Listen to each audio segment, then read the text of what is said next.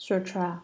Your basic purpose in cultivating is to transcend the wearisome defilements.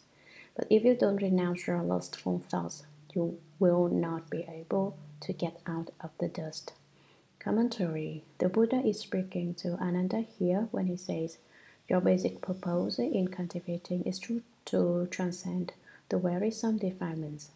You want to get out of birth and death, but if you don't renounce your lustful thoughts, you will not be able to get out of the dust. If you do not cut off sexual desire, it will be impossible to get out of the mundane defilements of the world. That's because thoughts of sexual desire are themselves defiling. They themselves are the wearisome dust, not to speak of engaging in lustful practices. Even the presence of such thoughts is unclean. If you don't renounce sexual desire, it's entirely unreasonable to hope to become enlightened and accomplish Buddhahood. To hold on to sexual desire on the one hand and expect to become enlightened on the other hand is the stupidest kind of thinking. People who think that way are impossible to teach. Even if Shakyamuni Buddha himself appeared in the world right now, he would have no way to bring such people to attainment of fruition. Such people are the most down-witted of all. Sutra, even though one may have some wisdom and the manifestation of Chan Samadhi, one is certain to enter demonic paths if one does not cut off the lust. At best, one will be a demon king. On the average, one will be in the retinue of demons. At the lowest level, one will be a female demon. Commentary Even though one may have some wisdom and the manifestation of Chan Samadhi, one is certain to enter demonic paths if one does not cut off lust. One may be wise, you may be wise, and when you sit down to meditate, you may experience light ease and feel extremely comfortable. That is, you can enter Chan Samadhi you think you're wise then. If you don't put a stop to lust, you'll end up a demon. At best, one will be a demon king in the sixth desire heaven.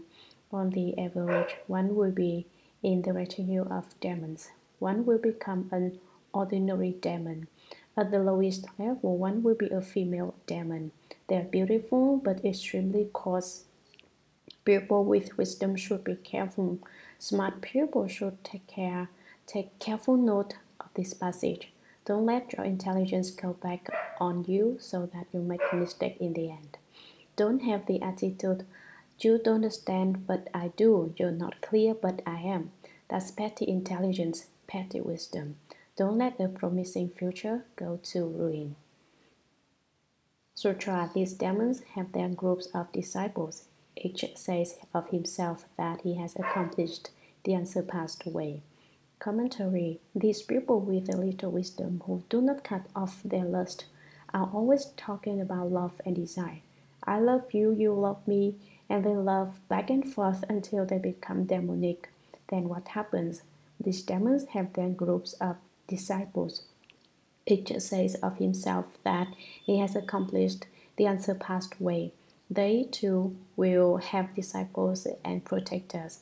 Totally without shame, they will loudly pronounce that they have achieved the highest path. I'm a Buddha. We are all supreme and unsurpassed. Basically, such people are demons, but they don't admit to it. They profess instead to be Buddhas. You see, they are even phony Buddhas, but they don't see themselves as phony. They think they are for real, they believe in heaven above, on earth below, I alone am honored.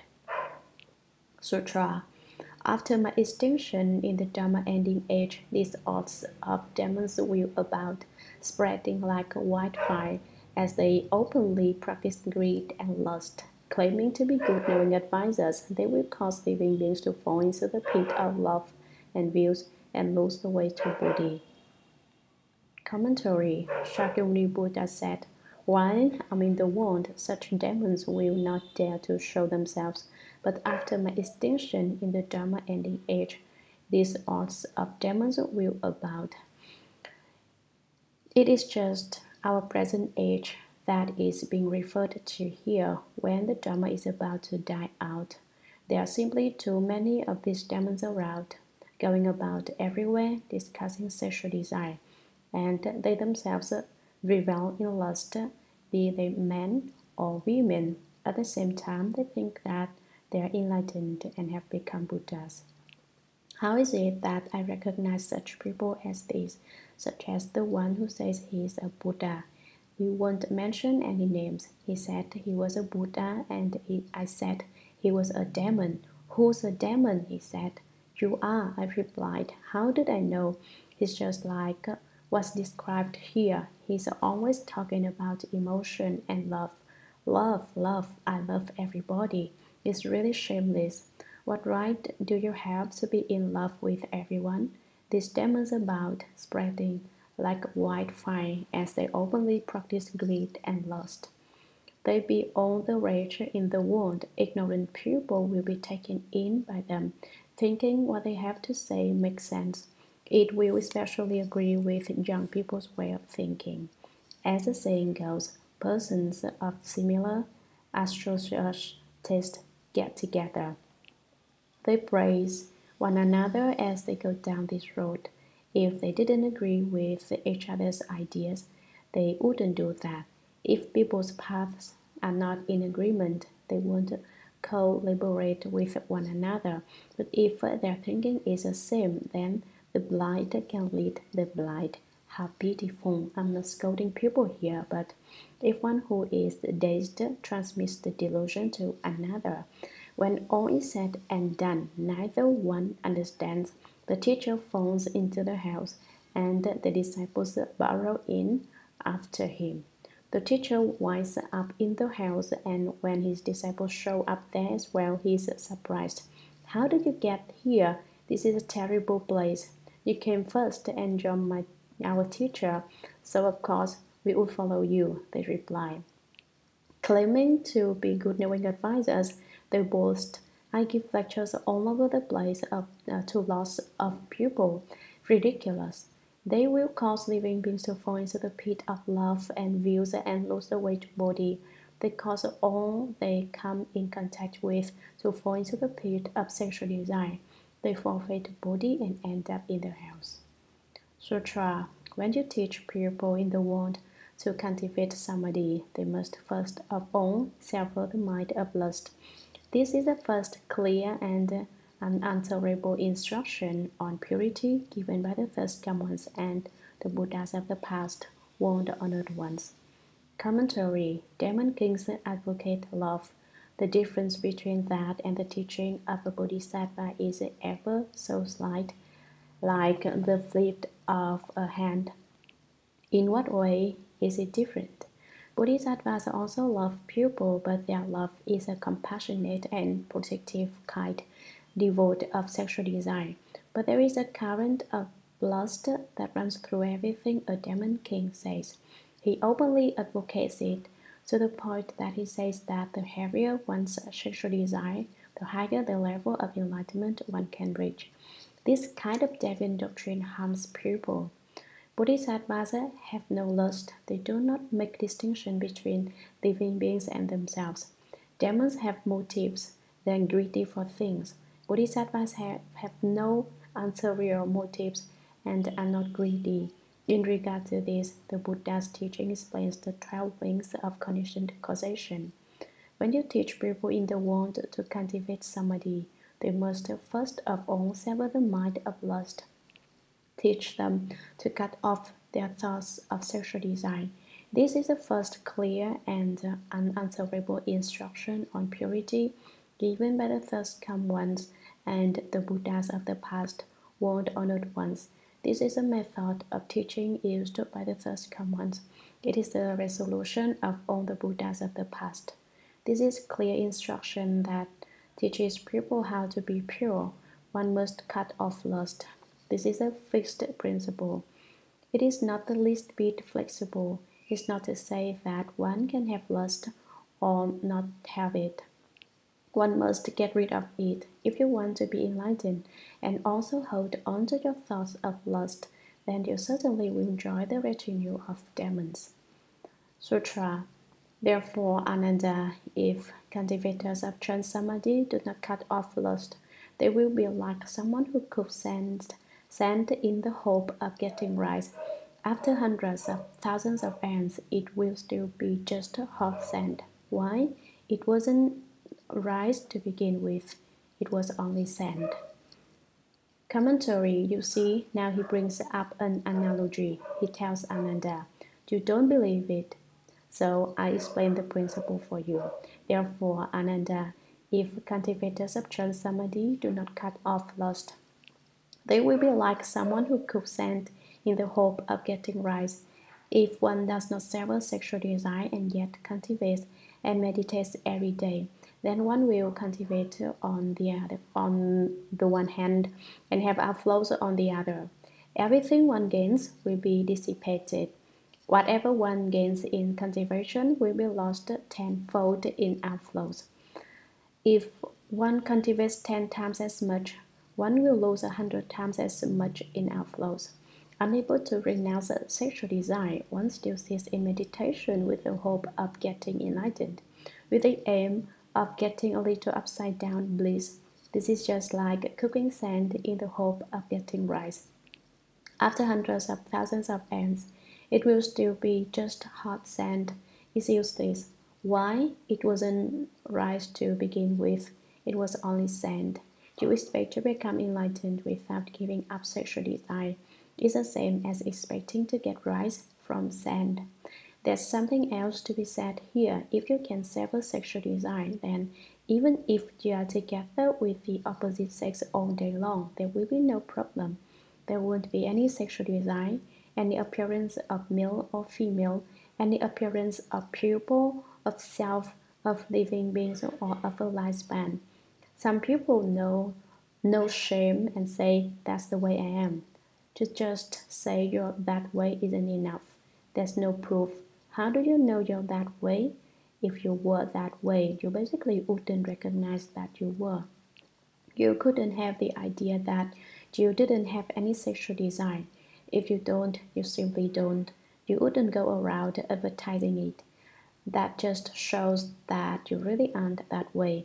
If you really don't have any sexual desire, then the eyes see forms appear, but inside there is nothing. The ears hear defiling sounds, but the mind does not know of them. No matter how pleasing the sound, sound the ear picks up, your mind is unaware of it. Then you've got a little going for you.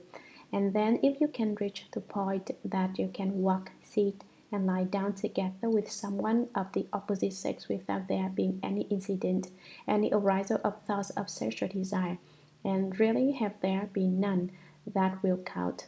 It's not to say that your mind still races, but you grit your teeth and say firmly, I can take it. That doesn't count. It has to be that not one thought arises, the mind does not move, that there basically is no trace of lust in your heart. That's genuine. If you occasionally are still aware of what women are all about, then you've failed the test. Once there was someone who got enlightened and went to seek certification from his teacher. What enlightenment have you opened? His teacher asked. His reply was, Oh, before I never realized it, but now I know that Bhikshunis are women. His teacher checked him out with the Buddha eye and saw that indeed he was enlightened. You're all right, said he said in certification. Who doesn't know that? You say. If you weren't enlightened, you wouldn't even say that much. It was because he had awakened that he voiced that observation. This is not something you can treat people with, especially since his teacher had a, the Buddha eye open.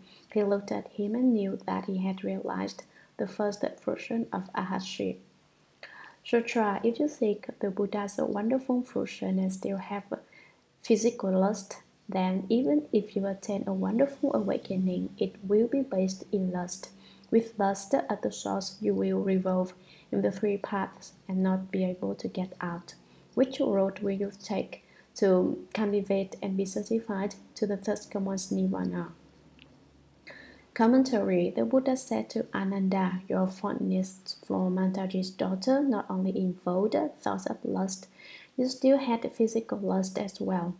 If you see the Buddha's wonderful fruition and still have physical lust, then even if you attain a wonderful awakening, it will be based in lust. Although you may attain the subtle principles at the heart of it, you still have not gotten rid of the rules of lust. With lust at the source, you will revolve in the three paths and not be able to get out. In the future, you will certainly fall into the hells. The three paths are those of animals, hungry ghosts, and beings in the hells. And you will just revolve in these three and be unable to leave them. Which road will you take to cultivate and be certified to the Thus Come One's nirvana? Which of these paths lead you to that fruition. Sutra, you must cut off the lust which is intrinsic in both body and mind, then get rid of even the aspect of cutting it off. At that point, you have some hope of attaining the Buddha's body. Commentary You must cut off the lust which is intrinsic in both body and mind.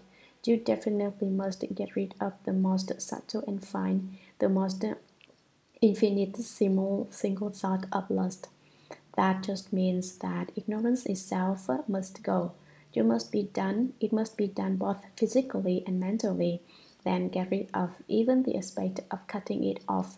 You cannot even be aware of having it, cut it off. At that point, you have some hope of attaining the Buddha's body. Sutra What I have said here is the Buddha's teaching. Any explanation counter to it is the teaching of Papiyan. Papiyan. Commentary What I have said here is the Buddha's teaching. This is the way the Buddhas explain the Dharma. Any explanation counter to it is the teaching of Papiyan methods taught by a demon king. Papiyan is a Sanskrit term that means evil one and refers to Mara, the demon king. People who come to listen to the sutras must certainly be able to see. The blind cannot come to hear the sutras, nor can the deaf or dumb. The more the people come to hear, the smarter they get. Everyone should open his eyes of genuine wisdom and truly turn the organ of the ear back to the self nature. Do not seek outside.